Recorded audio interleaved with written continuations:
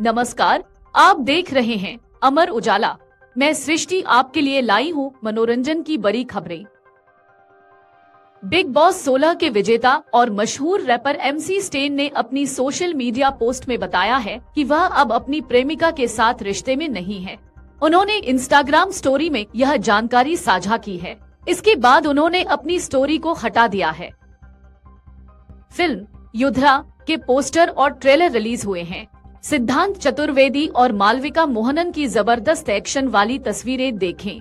Film 20 सितंबर 2024 को cinema घरों में रिलीज़ होगी। मलयालम फ़िल्म इंडस्ट्री में यौन उत्पीड़न के आरोपों के बाद अभिनेता मोहनलाल ने अपने पदों से इस्तीफा दे दिया है। उनके इस फैसले के बाद जल्द ही एक आधिकारिक नोट जारी किया जाएगा। दिग्गज फ़िल्म निर्माता एम मोहन का आज मंगलवार 27 अगस्त को कोची में लंबी बीमारी के कारण निधन हो गया। उन्होंने एक निजी अस्पताल में अंतिम सांस ली। वह छिहत्तर वर्ष के थे। रिपोर्ट्स के अनुसार, मलयालम फ़िल्म निर्माता कोची में उम्र से संबंधित कुछ बीमारियों का इलाज करवा रहे थे। सुपरस्टार रजनीकांत की फ़िल्म कुली की शूटिंग जारी है और इस फ़िल्म में आमिर खान के कैमियो की खबरें आ रही हैं। इससे पहले इस फ़िल्म में शाहरुख खान और रणवीर सिंह की कैमियो की खबरें भी आई थी। फ़िल्म कुली को 2025 में रिलीज़ किया जाएगा। फरहान अख्तर ने फे डिसूजा के साथ दिल चाहता है फ़िल्म के बारे में बातचीत की। उन्होंने बताया कि आमिर खान को भूमिका देने की पेशकश उन्होंने ही की थी, लेकिन अक्षय खन्ना ने उसे छोड़ दिया।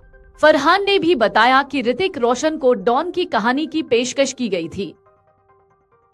मलयालम फ़िल्म इंडस्ट्री में हुई अफरा-तफरी के बाद, अभिनेत्री गीता विजयन ने निर्देशक तुलसीदास पर उन्नीस सौ इक्यानवे की फ़िल्म चंचटम की शूटिंग के दौरान उनके साथ गलत व्यवहार का आरोप लगाया है। गीता ने दावा किया है कि उन्हें कई प्रोजेक्ट से हाथ धोना पड़ा था। इस पर निर्देशक तुलसीदास ने खंडन किया है और कहा है कि उन्होंने हमेशा अच्छा व्यवहार अगर किया आप था। ये वीडियो YouTube पर देख रहे हैं तो हमारे चैनल को सब्सक्राइब करें और बेल आइकन को दबाना न भूलें। अगर आप Facebook पर ये वीडियो देख रहे हैं तो हमारे पेज को लाइक करें।